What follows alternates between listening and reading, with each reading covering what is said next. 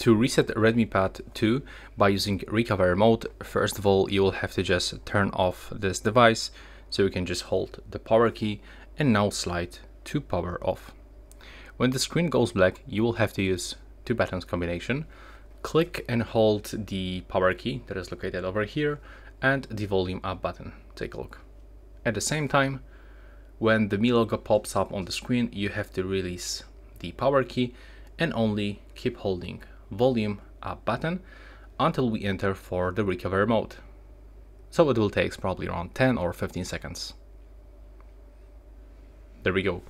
Now you are navigating with uh, volume buttons, so scroll to the wipe data, click on the power key, scroll to the wipe all data, click on the power key, scroll to the confirm, click on the power key, and now it's finished. Almost finished, right? You have to wait until you get this screen, data wiped successful, click on the power key, click on the power key, and click on the power key. Now the device will turn on with the first setup screen and the reset is complete.